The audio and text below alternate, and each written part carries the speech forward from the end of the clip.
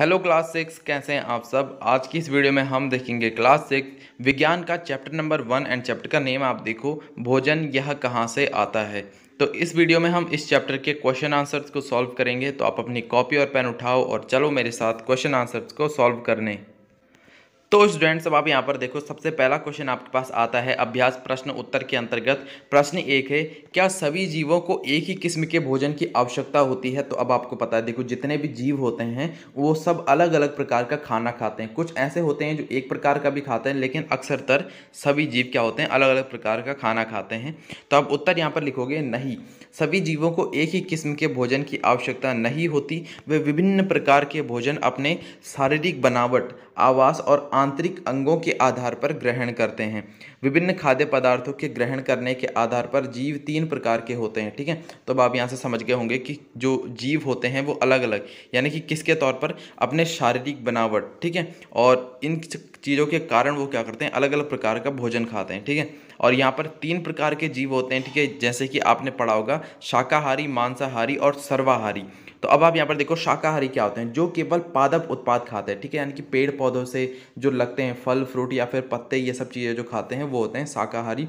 अगला है मांसाहारी, यानी कि जो केवल जंतु उत्पाद ही खाते हैं, ठीक है? उसे कहते हैं मांसाहारी, यानी कि जो दूसरी चीज़ों को मार कर खाते हैं, जैसे कि आपने देखा होगा, लायन, बाघ, ये सारी चीज़ें क्या होती हैं? मांसाहारी होती हैं, और अगला होता है सर्वाहारी, यानी कि जो पादप और जंतु दोनों उत्पादों को खाते हैं। जैसे कि इंसान होता है, ठीक है? इंसान क्या होता है? एक सर्वाहारी होता है। इंसान जो पादपों के चीज़ें भी खाता है, ठीक है? अनाज भी खाता है और दूसरी चीज़, अगर कहीं पर चिकन, मटन बना हो तो उसको भी इंसान खाता है, ठीक है? अगला आप देखो, प्रश्न दो है यहाँ पर।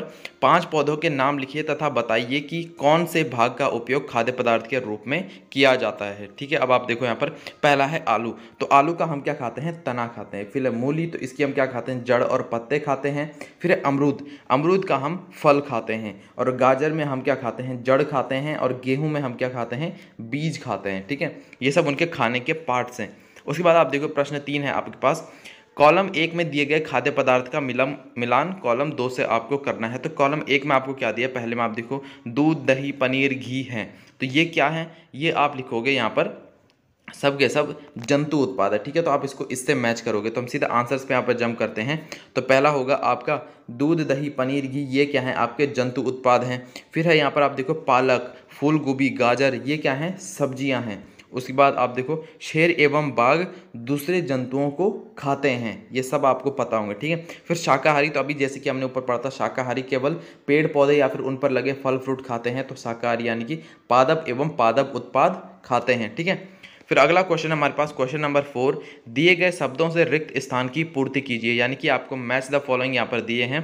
इस तरह आप देखो, यहाँ पर कुछ आपको वर्ड्स दिए हैं जो कि आपको नीचे यहाँ पर जो ब्लैंक्स हैं, ठीक है, उन पे आपको भरना है, ठीक है? तो पहला कौ है यहाँ पर, बाघ एक डैश है क्योंकि यह केवल मांस खाता है। तो क्या है? हमने देखा बाघ एक क्या होता है? मांसाहारी होता है, क्योंकि यह केवल मांस खाता है। तो इसमें आप देखेंगे मांसाहारी।